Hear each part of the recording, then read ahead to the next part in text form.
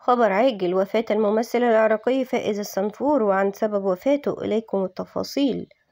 السلام عليكم ورحمة الله وبركاته. أهلا بكم في فيديو جديد.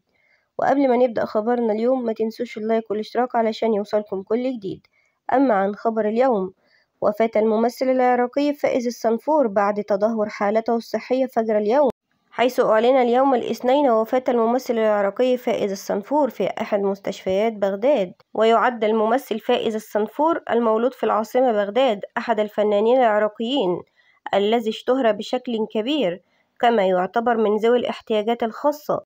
وظهر الصنفور قبل أيام عبر مقطع فيديو في حالة مزرية يمر بها ويعتلي جبهته جرح ينزف قليلا ولقى الفيديو تداولا واسعا فيما تحدث بعض رواد مواقع التواصل الاجتماعي عن تأثر الفنان بحالته النفسية وظل يعاني من هذه الإصابة.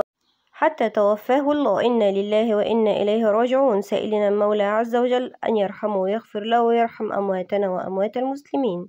وبكده خبرنا خلص النهاردة. ما تنسوش تدعمونا باللايك والاشتراك علشان نوافيكم بكل جديد. والسلام عليكم ورحمة الله وبركاته.